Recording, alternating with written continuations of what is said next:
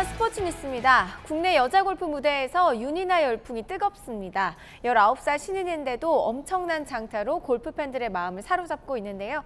그 비결은 뭔지 김태욱 기자가 만났습니다.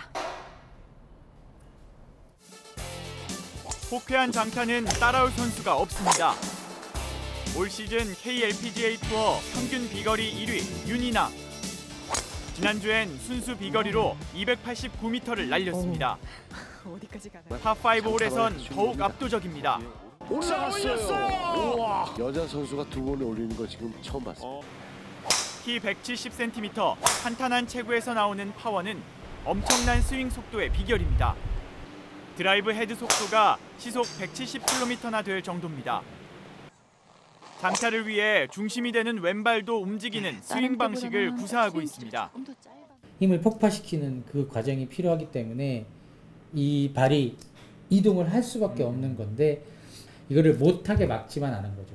일부러 하라고 시키진 않아요. 올 시즌 우승 없이도 신드롬을 일으킨 윤이나. 음 반짝반짝 윤이나요? 그거밖에 없는데.